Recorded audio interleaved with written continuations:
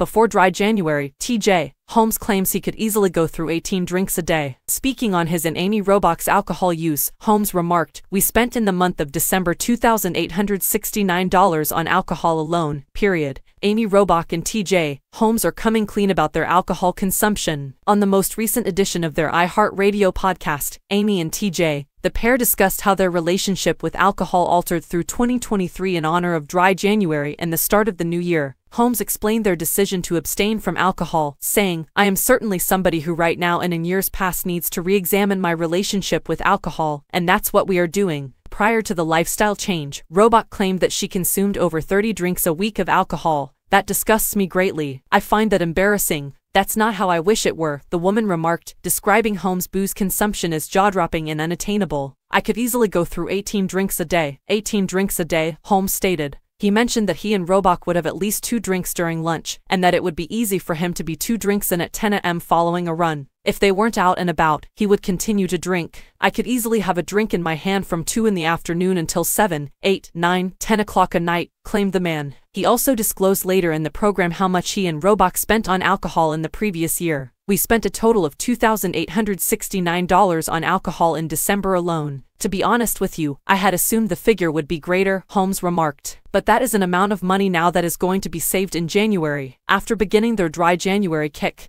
he said he and Robach had been feeling great.